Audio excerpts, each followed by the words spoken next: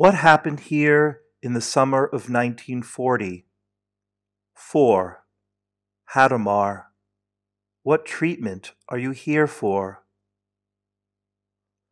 Hadamar is a small, very sleepy town of 12,500, two hours by train from Frankfurt in the German state of Hesse. Before arriving at the station, the train slows down, passing tracks grown over with weeds and what seems to be an older, now unused station, a rectangular brown brick station master's building emblazoned with old German Gothic letters, Hadamar. On a hill, a brown building with turrets on each side, a cross in the middle, looms over the empty train station. I am the only person to get off the train. I pass nobody as I follow the signs for the Gedenkstätte. The Gedenkstätte doesn't open until 9 a.m. I am early. I sit outside in my wheelchair, waiting in front of a large late 19th century, pale yet bright yellow building, and wait for the memorial to open. On House 5, which houses the Gedenkstätte, I notice signs for ergotherapy program, another for Wohn- und Pflegeheim, residential and nursing home. This is still a working psychiatric facility. Soon some people pass by, some with ID tags identifying them as staff, others I assume to be patients. Someone with a staff ID stops. What treatment are you here for? she asks. Do you know where to go? It is then, here at Hadamar, the historical link between physical disability and the psychiatric disabilities that define most of the T4 victims is made clear. Even today, the usual assumption is if someone is physically disabled, they are also intellectually disabled. Though I've written about this stigma and taught about this stigma, this is the first time I've experienced it so intimately.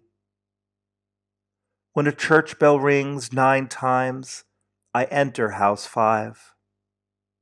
The Hadamar Insane Asylum was established in 1883.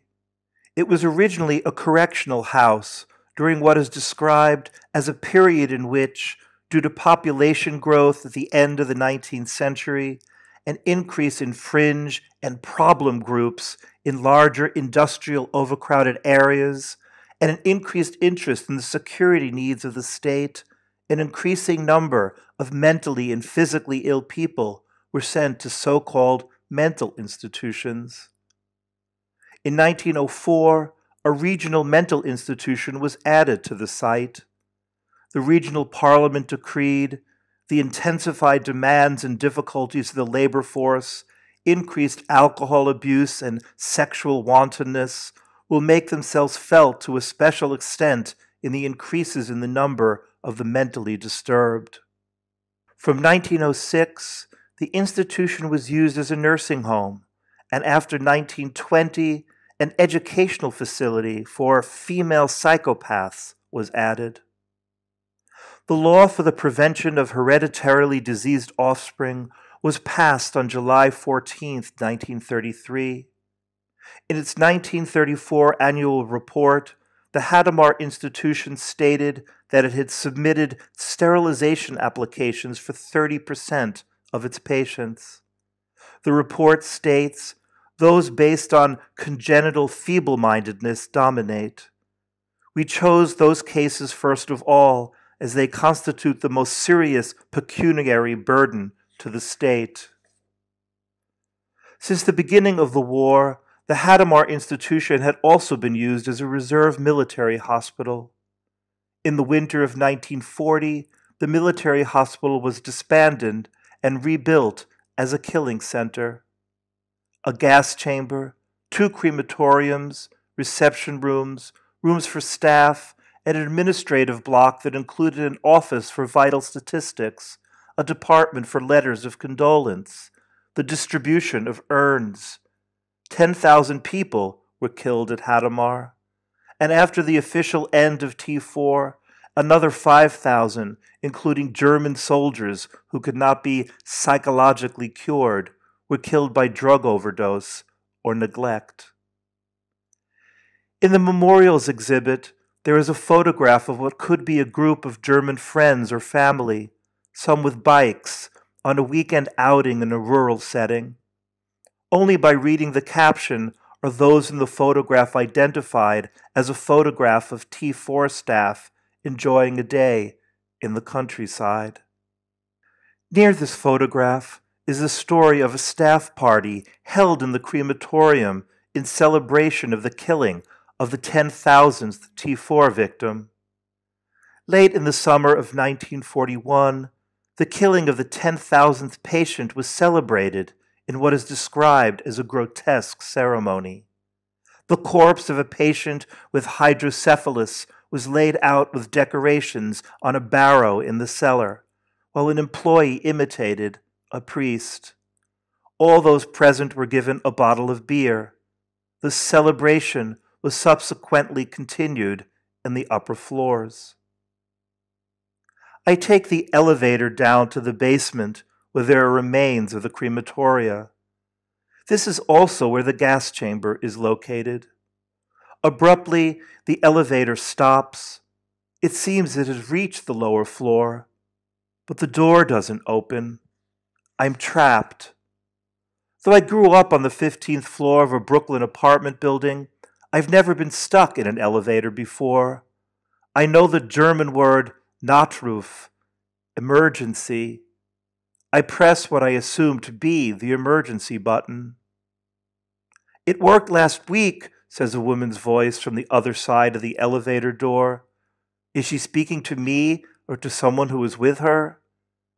Last week. That means I am the first person who needed the elevator to visit the exhibit since then? Just wait, the voice says. We've called maintenance and security. They should be here soon.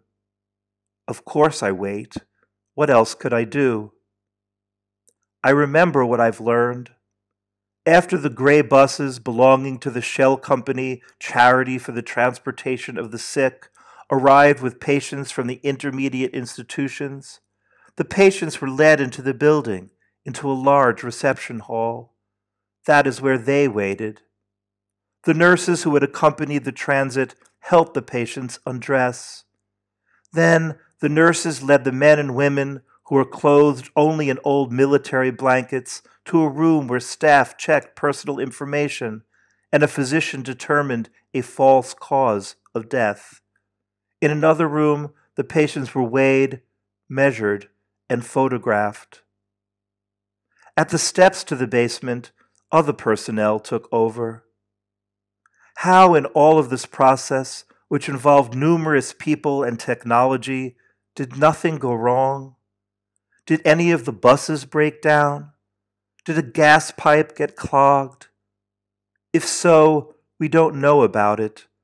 But this also begs the question if in resistance something could have done to slow, if not halt, the killing.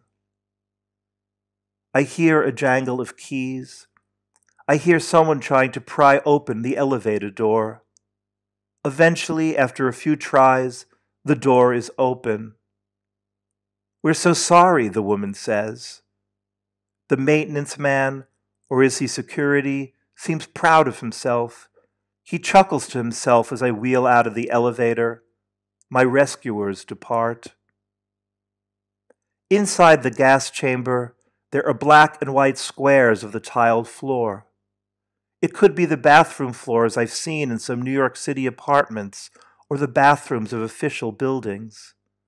But here, in the center of the floor, is a metal slatted drain with a round hole. Three quarters of the wall is covered in off white, yellowish tiles, larger than those on the floor, which could be found in the shower room of a gym. There is a small arched recessed window at what seems like street level. The window lets in a sliver of light. Suspended from the ceiling is a metal rod, a pipe with a nozzle in the middle. From there, the gas flowed into the room. In the gas chamber door, There is a small circular window. This is from where the doctor who turned on the gas watched the patients die. Why do I notice all of this? Why do I make a note to remember to find out the measurements of the room? How does wanting to know precise details relate to my role as vicarious witness? More importantly, how do I feel? Up to 60 people were squeezed inside the chamber. The air raid doors were sealed. The killing physician turned a valve and let carbon monoxide gas into the gas chamber until all the patients were killed.